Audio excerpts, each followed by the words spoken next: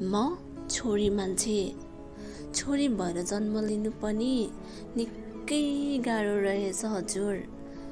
अब जन्मेकै घरमा आफ्नै खुसीको लागि त लड्न पाइँदैन। अनि बिहे गरेर गएपछि अर्काको घरमा आफ्नो खुसीको लागि कसरी लड्ने होला त?